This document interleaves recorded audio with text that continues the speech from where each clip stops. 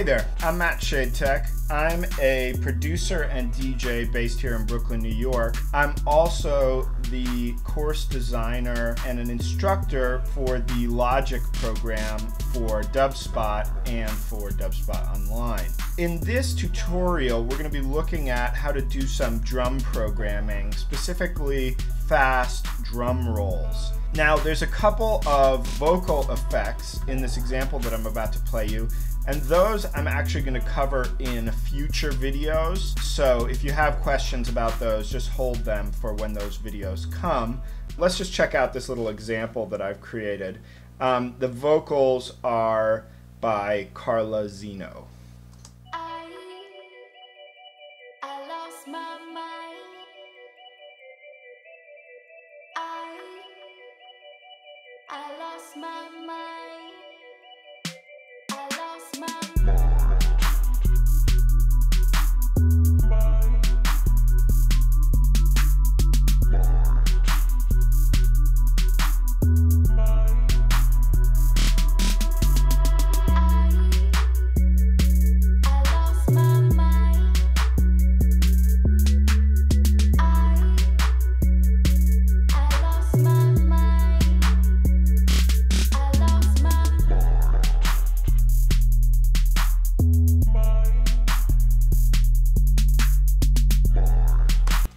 Okay, so I'll get into the vocal processing um, in another video, but uh, let's focus on the drum programming here, and we'll start uh, with these hi-hats. I'm just going to solo out the drums.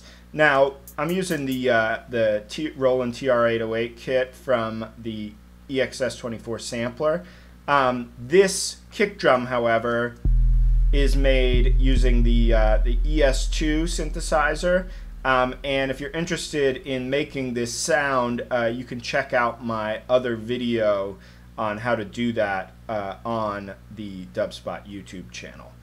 Okay, so let's focus on these hi-hats to start with.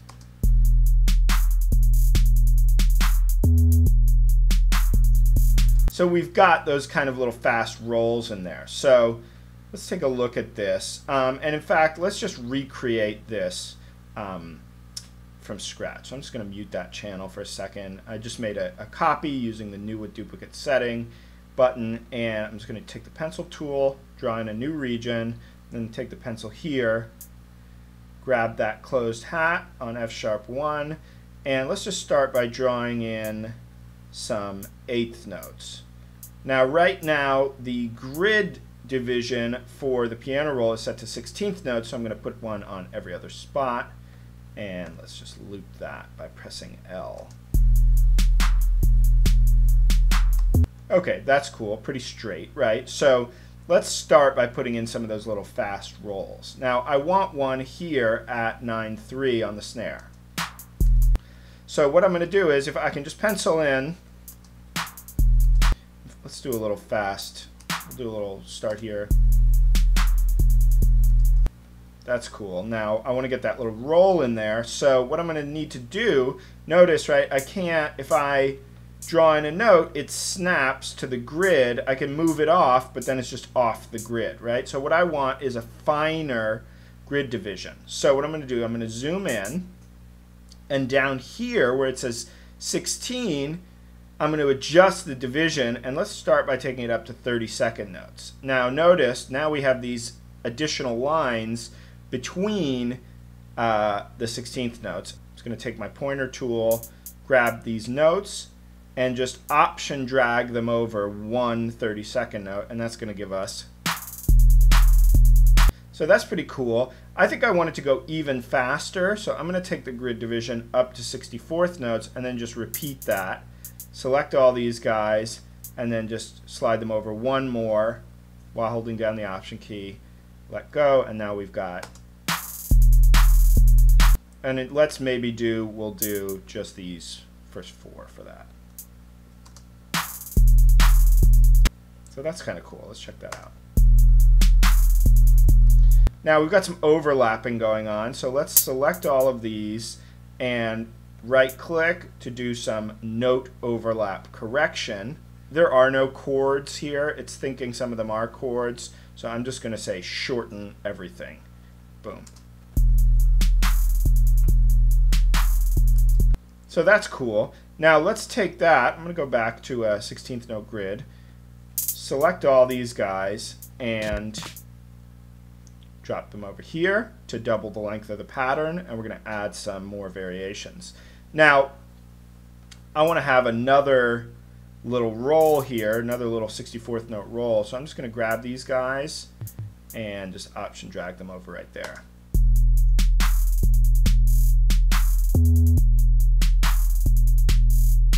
To mix up that pattern. So that's pretty cool. And I like to do this this way by going back to the higher grid resolution because you can kind of treat this almost like a its own drum hit, right? If I want to place it here, just place it right there.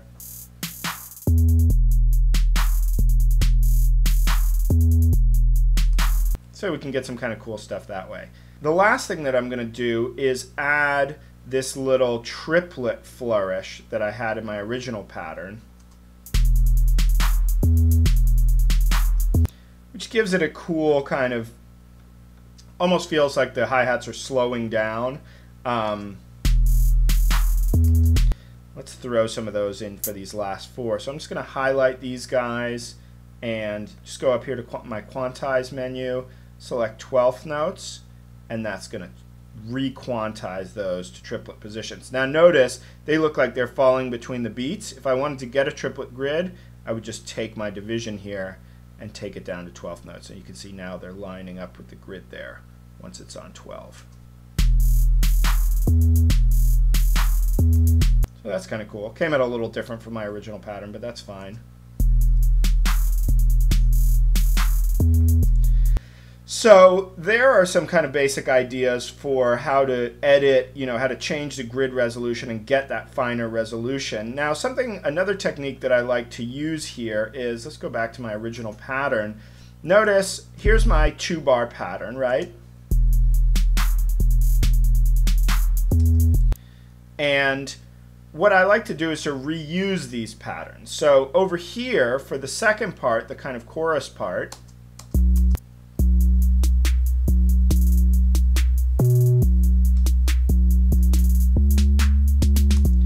right? So what I did here was just, here, we'll do it again with the, the new pattern.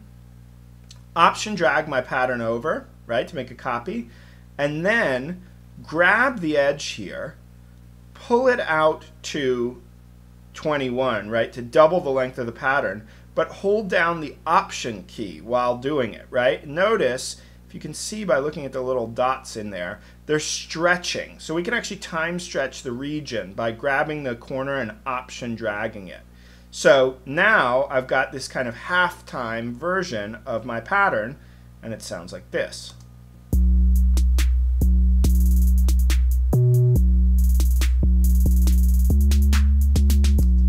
So kind of cool. So that's what I did here, right? If we listen to these two,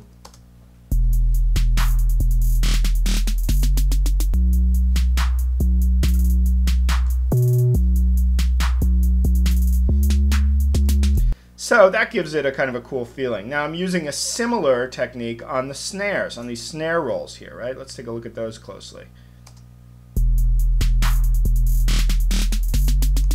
So here I'm doing a similar thing with the 64th note rolls, right, to get those very dense kind of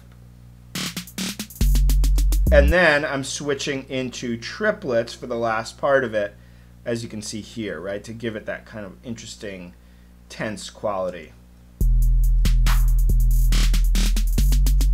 Now, to kind of make this a little extra interesting, I'm using, here in the Hyper Editor, some pitch bend, right? You can open the Hyper Editor by clicking on here and then choose pitch bend from the menu. And I'm just clicked on the point here, and dragged in a little rising bend from 16 to 17. So I'm actually pitching up those snares over time. To give it that kind of interesting feeling. And I've got a similar, although slightly different bend going on uh, over here where it's actually bending downwards. And one key thing that you're going to want to do to get this effect is open up your EXS24 and you see here where it says pitch. Just take this and put it all the way up to 12. This is the pitch bend range. I think the default is like 2, and then you'll get something like this. So you can hear a less dramatic pitch bend. It's, it's, this is the pitch bend amount. So let's set that to 12 to get that nice dramatic pitch bend. And there we have it. Um, a couple of ideas that'll help you with your own uh, drum programming. So hopefully that was uh, helpful for you guys. And if you want to learn more stuff like this, you can check out our courses both at Dubspot Online and at our school here in New York City. And we'll cover all of this stuff in much greater detail how to create these sounds, how to program all this stuff, sequencing, mixing, arranging, and really go into a lot of detail.